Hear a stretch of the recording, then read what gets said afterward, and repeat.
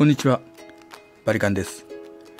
今回は武田神社の目の前大手三丁目にある信玄ミュージアムにやってきました。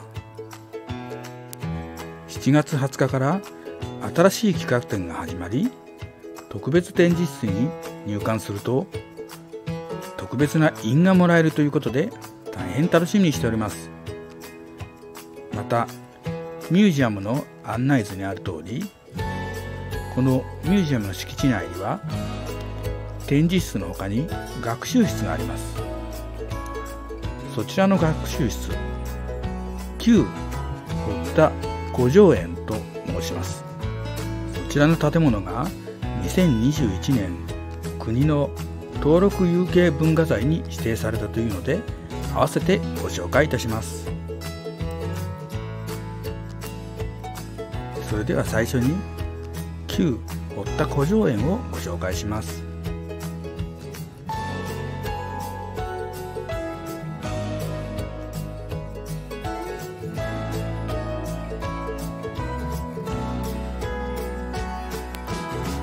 こちらの建物は昭和8年1933年に料亭旅館として開業された木造家屋群となります。武田氏館の存在を意識して堀田古城園と名付けられたそうです。ここにある6つの建物が国登録有形文化財となりました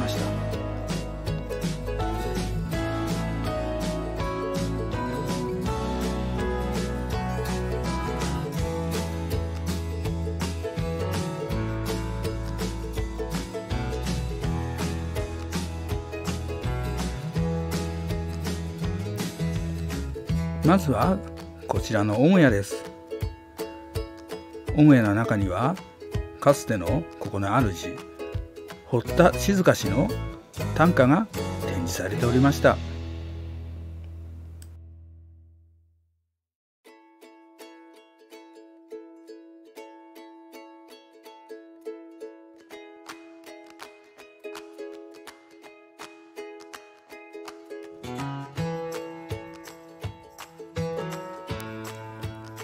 こちらは茶室です。こ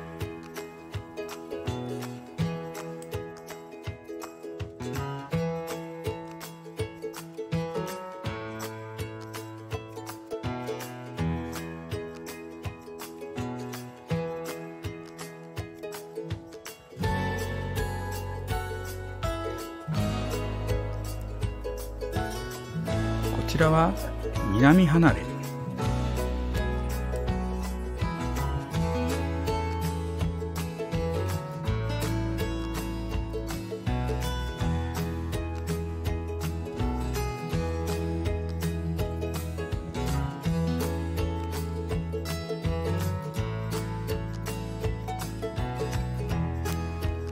そしてその隣が北離れとなります。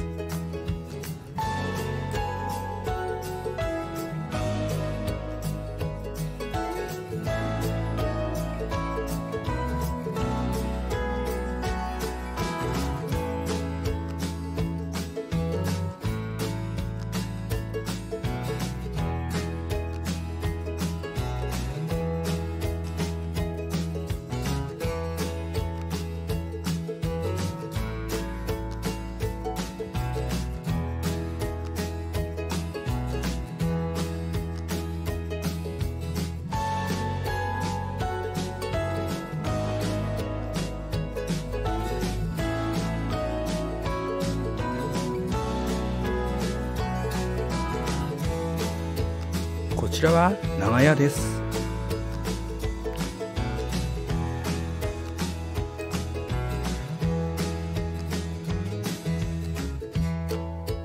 長屋の中にはカフェ夕姫があります。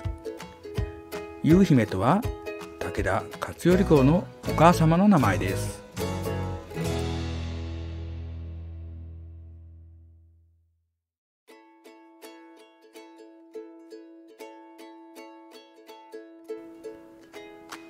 そしてこちらが木戸門となります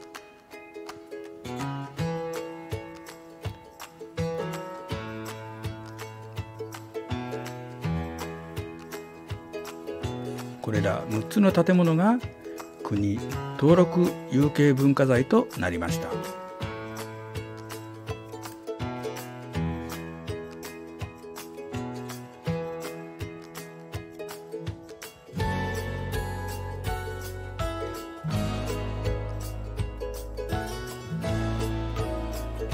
それでは企画展の方に行ってみましょう。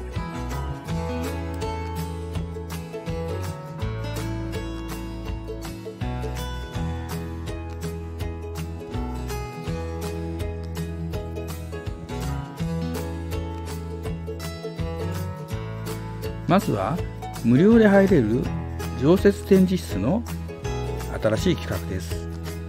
こちらは決戦川中島武田上杉勝ったのはどっち？が開催されております。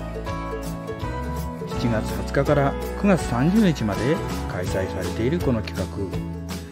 展示室に設けられた参加者の解説を見て武田と上杉どっちが勝ったのか来館者による投票を行うそうです。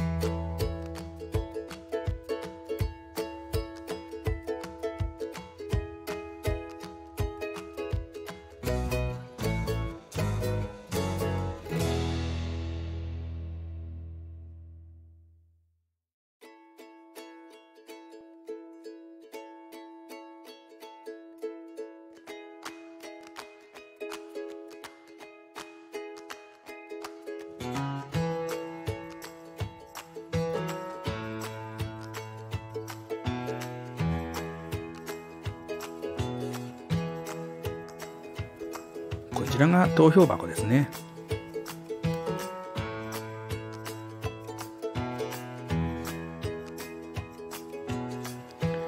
そしてこちらが有料の特別展示室で新しく始まった企画展。名称武田信玄と名神山本勘介です。信玄公と山本勘介に関わる企画展を2つのサブテーマで開催しています。テーマや時期によって展示資料が変わりますので詳しくは説明欄に記載しておきますね。現在開催されているのは山本勘介その伝説と実像です。こちらの特別展は撮影は禁止です。また期間限定の印も1人1枚限定ということなので今回は甲府応援隊の隊員2名で入館してきました。早速山本勘介に関する貴重な資料を見学した後印をいただきました。こちらが山本勘介武将印です。そしてもう1枚が五条院になります。山本勘介武将印はこの企画展が終わったらもうもらえないそうですので大変貴重です。せっかくですから武田神社の御朱印も紹介します。こちらの御朱印御朱印帳ではなく専用紙にいただく御朱印というのがあるのでそちらをいただきに行ってきます。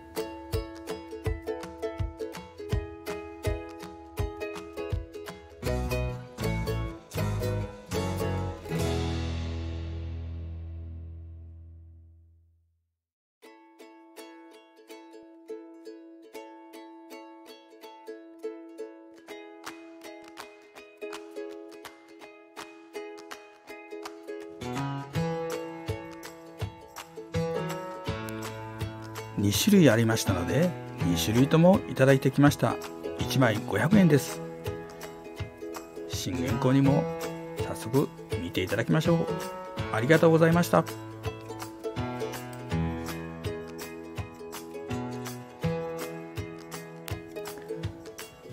ご覧の通りこの御朱印切り絵アーティストの百鬼丸さんがデザインした専用紙にこのような形で御朱印をいただきます。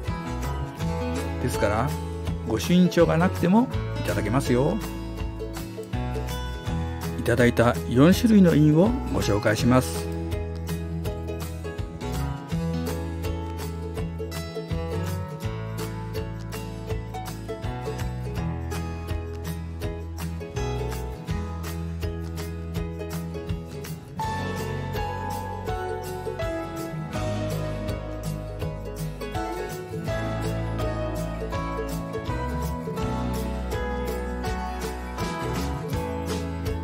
今回は信玄ミュージアムをお届けしました。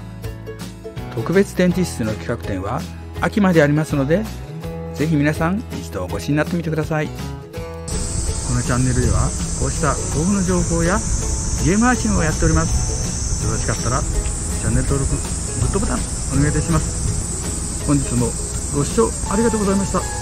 バルカンでした。